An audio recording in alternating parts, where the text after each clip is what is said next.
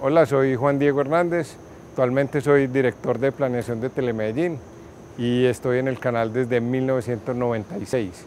Telemedellín era un proyecto de la Secretaría de Educación. Me llamaron como a coordinar y a recibir todos los equipos que se estaban comprando para Telemedellín y desde ahí me quedé. Bueno, en 20 años pues han pasado mil cosas, pero como para señalar una, yo diría que la construcción de esta sede fue como lo más grande que me ha pasado acá. Telemedellín para mí es todo, es que más de 20 años acá pues termina siendo como la piel de uno, el alma de uno, el corazón de uno, o sea, Telemedellín es todo. A Telemedellín en sus 20 años quiero desearle lo mejor, un feliz cumpleaños, que sean muchos, muchos más y que siga siendo el aquí te ves de la ciudad.